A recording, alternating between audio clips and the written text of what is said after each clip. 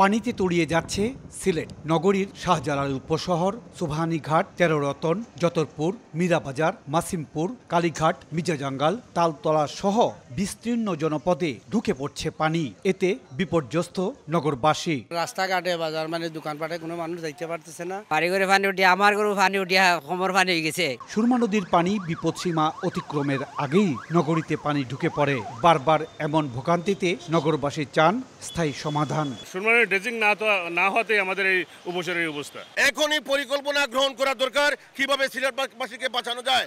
এ অবস্থায় সিটি কর্পোরেশনের প্রধান প্রকৌশলী নদী খনন ও বাঁধ নির্মাণে পানি উন্নয়ন বোর্ডকে ব্যবস্থা নেয়ার আহ্বান জানান। অতিবৃষ্টি প্রবল বর্ষার কারণে বন্যার কারণে যখন শহর এলাকা পানি প্রবেশ করে তখন আমরা ওয়াটার ডেভেলপকে এই বিষয়ে চিঠি দেওয়া জানাই কিন্তু আসলে ওইভাবে অগ্রগতি হয়নি। এদিকে কানাইঘাট গোয়াইনঘাট কোম্পানিগঞ্জ জৈন্তাপুর জকিগঞ্জ ও সিলেট সদর উপজেলার লাখ লাখ মানুষ পানিবন্দী হয়ে পড়েছেন। গোয়াইনঘাটের শালুটিকর বাজার পানির নিচে তলিয়ে যাওয়ায় আর্থিকভাবে ক্ষতির মুখে পড়েছেন ব্যবসায়ীরা। দুই তিন দিন হইতেছে এই পানিবন্দি অবস্থায় আছে। কিছু তেল তুল নষ্ট হয়েছে এবং পানি উঠিয়ে তোমার গড় কারবার বন্ধ হয়েছে বুঝছেন?